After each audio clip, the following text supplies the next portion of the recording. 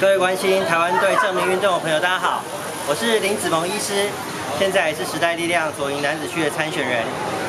现在台湾队证明已经到了最后阶段，那我想在左营，我们拥有全国的最顶尖的国家训练中心，非常多优秀的运动员，他们都是在左营